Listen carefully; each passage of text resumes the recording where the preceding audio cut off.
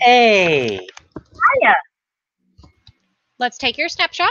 If you look at your cameras and smile, snapshot in three, two, one. Perfect. Enjoy the chat. Hiya. How are you? Good to see you. It's good to see you. How are things going? Good. I brought something with me. Um, oh wow. Oh wow. How long did, did that take you to do? Um, a couple hours. What? It's beautiful. Are you going to color it, or are you going to just leave it? Probably color it like I did one of these before. This is Oh, that's fantastic. That's I love that. That's great. So you're gonna so you're gonna color the the, the Wonder Woman one. yeah.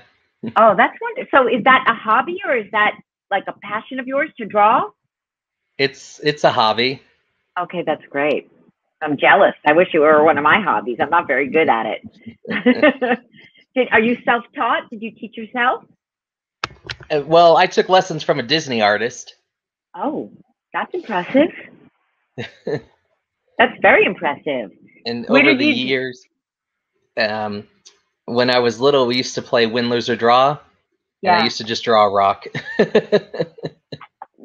So, how did you get the lessons from the Disney artist? Was that something you did online, or uh, in person, um, he moved to where I lived, and Okay. someone mentioned me to him, and I took it for a while.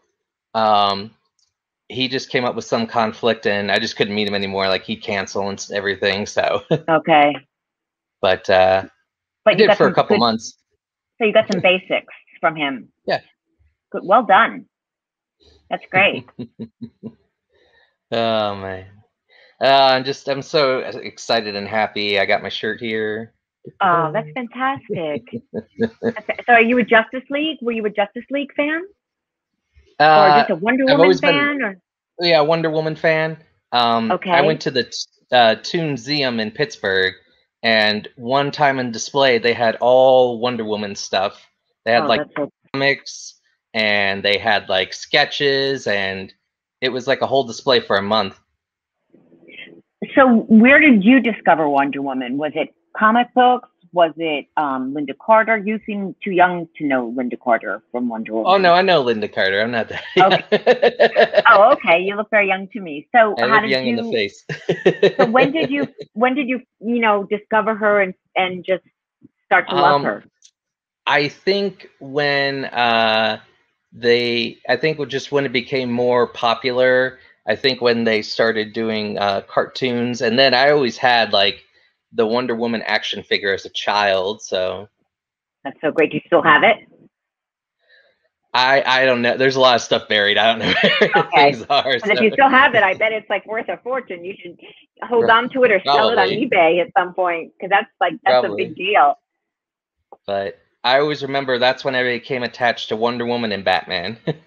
Yeah, well, one of the things that was fun about Justice League is that they did a little romance between them. It wasn't a full blown romance, but it was um, like a flirtation, which was very sweet. oh yeah, I Yeah. enjoyed it, and I just think that you're just an amazing person. I appreciate everything you do.